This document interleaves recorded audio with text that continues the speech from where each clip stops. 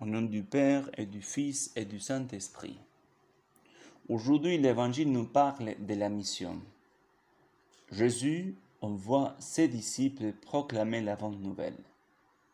Dans l'encyclique Redemptoris Missio, le pape Saint Jean-Paul II enseigne et nous rappelle de nombreuses vérités essentielles sur la mission. Parmi les vérités que les saints pères nous rappellent, nous trouvons cette affirmation.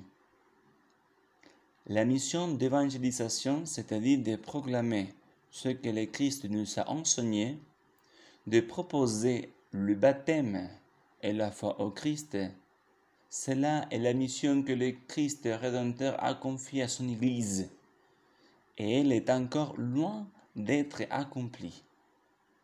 En parlant de même sujet, les pères ajoutent Cette mission n'est qu'à ce début et nous devons nous engager de toutes nos forces à son service. Les saints pères nous rappellent des fruits missionnaires du Concile Vatican II. Le Concile Vatican a voulu renouveler la vie et les activités de l'Église selon les besoins du monde contemporain. Il a souligné la nature missionnaire de l'Église en la fondant sur la mission trinitaire elle-même. Comme le Père envoie le Fils, moi aussi je vous envoie, pour que tous soient un, afin que le monde croie que tu m'as envoyé. Les fruits missionnaires du Concile sont déjà nombreux.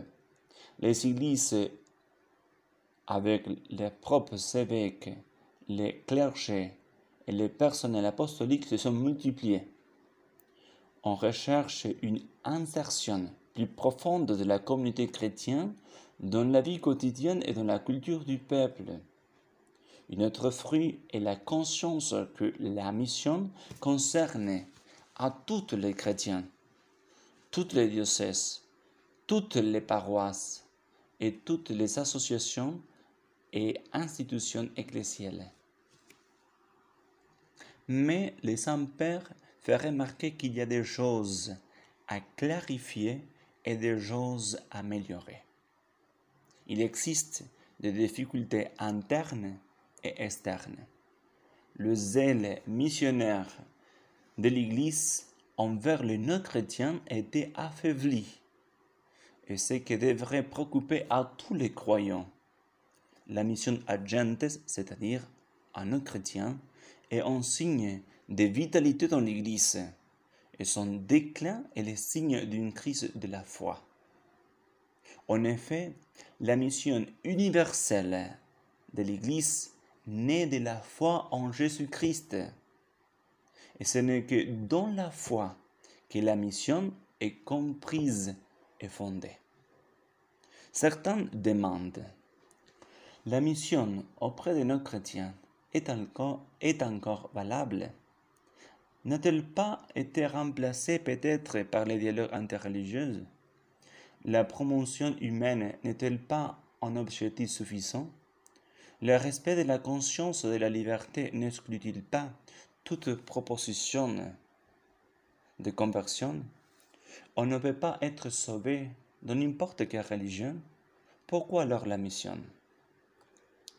Face à ces questions très dures et très manquantes de foi, l'Église a toujours enseigné ce que le Christ a enseigné. Moi, je suis le chemin, la vérité et la vie. Personne ne va vers le Père sans passer par moi. Toute cette auto-révélation définitive de Dieu est la raison fondamentale par laquelle l'Église est missionnaire par nature. Elle ne peut pas que proclamer l'Évangile, c'est-à-dire la plénitude de la, vérité que Dieu nous a fait connaître sur lui-même. Le pape continue et nous rappelle que la foi est une proposition à la liberté de l'homme. Dieu offre à l'homme cette vie nouvelle. Et se demande encore le pape est-il possible de rejeter le Christ et tout ce qu'il a apporté à l'histoire de l'homme? C'est certainement possible. l'homme est libre. L'homme peut dire non à Dieu. Mais la question fondamentale demeure. Est-il légitime de faire cela, de dire non à Dieu? Sur quelle base est légitime?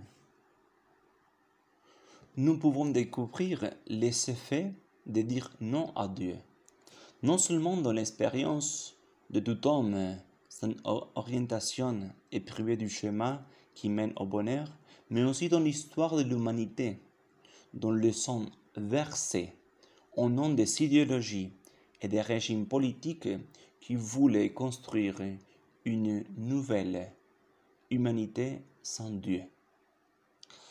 La foi exige la liberté de l'homme, mais elle doit être proposée parce que personne, parce que chaque personne, tout le monde ont le droit de connaître la richesse du mystère du Christ.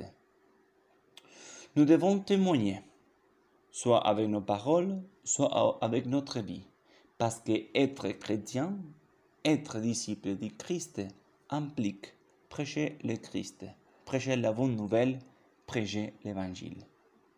Au nom du Père et du Fils et du Saint-Esprit. Amen.